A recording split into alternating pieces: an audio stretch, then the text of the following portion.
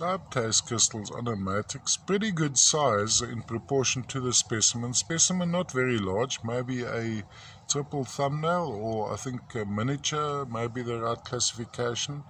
Now this would most likely be from the Mindouli mine at Brazzaville, Congo. Why I say that when you look at that section of ore, that looks pretty much like the typical dolomite of that deposit. Um, and of course I did get this in a batch of uh, Mindouli material. A lovely, lovely form of the dioptases.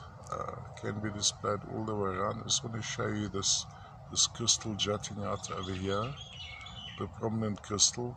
Uh, very similar to the, the dioptases of the Kaokoveld in Namibia, you have the, the elongated crystal, uh, whereas the, the typical Katanga dioptases are short and chubby.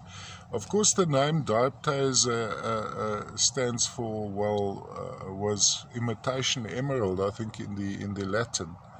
Uh, based on the color. When the guys first found these, they thought they were looking at emeralds.